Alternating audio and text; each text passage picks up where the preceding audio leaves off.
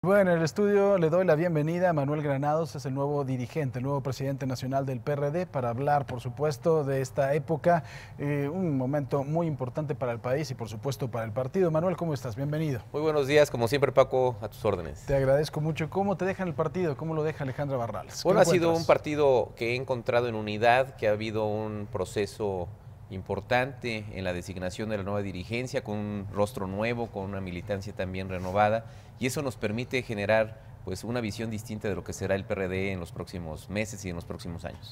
Oye, en los últimos días pasaron cosas. Miguel Ángel Mancera ya había recibido el respaldo, por supuesto, de los gobernadores del PRD y al parecer hubo un acuerdo, según lo que dicen las columnas, con los chuchos y que se les ofreció el 40% de una serie de candidaturas al legislativo, algunos gobiernos, eh, candidaturas a los gobiernos de los estados y eso hizo que pues se bajara Miguel Ángel Mancera. ¿Esto es cierto? ¿Hubo traición al interior del PRD? No, lo que hizo este esquema de acuerdo con el resto de los partidos políticos fue primero que Miguel Ángel Mancera fue el promotor, fue el que ideó, fue el que propuso. Octubre del 2016, ¿no? Justamente el cuarto polo para generar esta posibilidad de ir juntos a la elección presidencial del 2018. Sin embargo, también Miguel Ángel Mancera ha sido muy claro, muy respetuoso de sus decisiones, nos ha dado una muestra democrática en el ejercicio de eh, esta etapa tan importante para el país y él también ha dicho que eh, respetaría la decisión de la dirigencia eh, nacional del PRD. En ese sentido, el acuerdo de las dirigencias fue en el peso específico electoral que cada uno de nosotros tiene a nivel nacional. Y ahí fue donde se decidió que eh, la candidatura a la presidencia de la República correspondería al Partido Acción Nacional y la de la Ciudad de México al Partido de la Revolución Democrática. Alejandra Barrales no traiciona a Miguel Ángel Mancera. Lo que hay es un acuerdo político y en ese sentido, pues ahora eh, hay que cumplir eh, la alianza y sobre todo esta coalición que ya fue registrada en el Instituto Nacional Electoral. Manuel, el otro día estaba revisando una, caricatura de Calderón, en la que él hacía también una, pues, importante reflexión. Decía que no veía a un perradista convencido votando por Ricardo Anaya que tampoco veía a un panista convencido votando por Alejandra Barrales, por Agüedo, por Chertorivsky. ¿Ustedes creen que realmente este frente va a prender, este frente verdaderamente dentro de la elección, tanto la federal como la local, va a servir? Bueno, ahí están los números de las encuestas en donde el Frente tiene hoy un nivel de competitividad muy claro, que ahora que se distribuyan, se difundan con la ciudadanía las propuestas que se generarán a partir de esta plataforma electoral, seguramente ganaremos eh, la presidencia de la República y la Ciudad de México sin duda. Manuel, ¿le creen a Ricardo Anaya? Tú como presidente nacional del PRD, ¿le crees? Porque ha prometido muchas cosas que no ha cumplido. Bueno, vamos a generar este tipo de acuerdo ahora en la parte ideológica, en el debate. Vamos a posicionar bien las propuestas eh, del Partido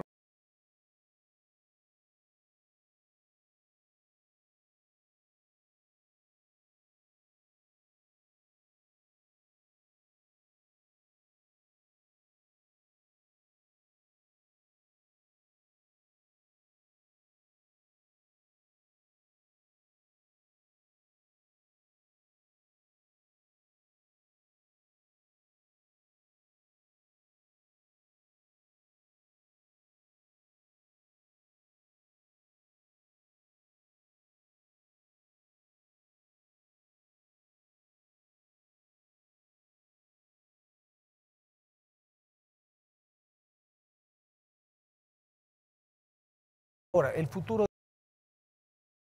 de cohesionado después de lo que pasó, ¿no tienes que hacer una operación cicatriz?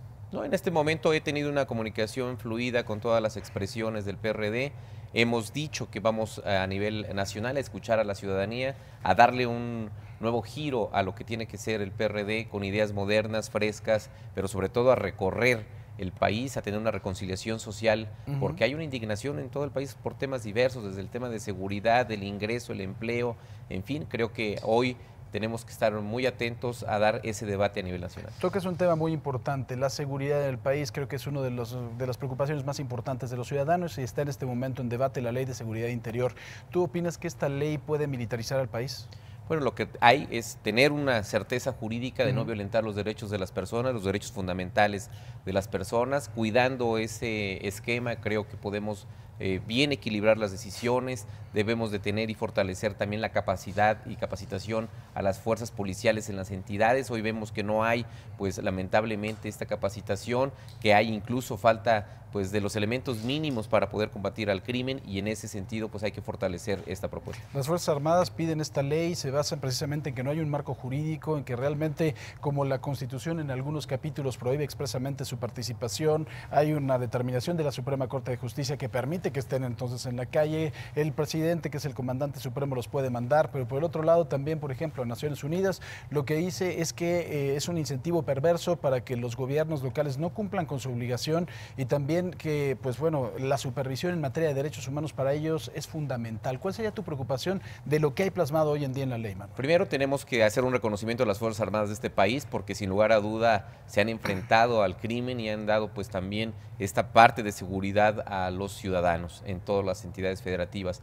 Lo importante, insisto, es la capacitación, es revisar cuáles son los modelos de actuación, los protocolos de cada una de las policías, generar un acuerdo común pero, y también, bueno, entrarle al tema de la, de la prevención, social de las violencias, generar este tipo de revisión de los orígenes que causan estas violencias, en tema, de, por ejemplo, de recuperación de espacios públicos, de capacitación, de oportunidades de vida, eh, de empleo, de educación, de reconciliarnos con la ciudadanía en esos temas. Oye, otra cosa importante, ¿cuáles son los tiempos en la elección del Distrito Federal? ¿Qué es lo que van a hacer? Porque va a ser una elección muy reñida y después de este acuerdo, pues bueno, es bastante probable que sea muy competitivo el candidato de este frente por México al frente, o cómo es frente por México al frente.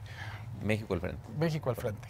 Oye, ¿cuál, ¿cuál, va a ser el... Bueno, el 14 de diciembre eh, inician los procesos de precampaña de los partidos políticos para los diversos cargos que están en juego en la elección del próximo año y en febrero pues concluye esta etapa para entrar a la constitucional y estar listos para el proceso de julio. ¿Cuál será la forma de elección del candidato?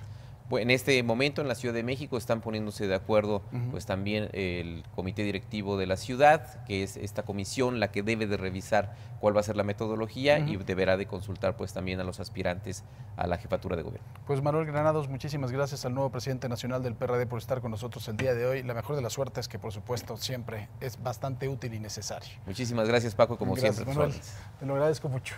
Nosotros pues bueno. Imagen Noticias con Paco Sea, lunes a viernes 5 50 AM. Participa en Imagen Televisión.